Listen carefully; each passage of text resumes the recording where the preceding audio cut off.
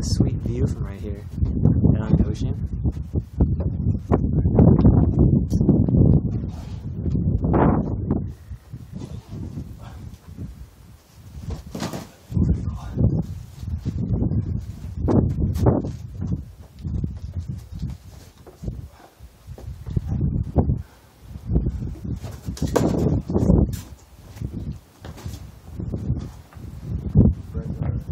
Thank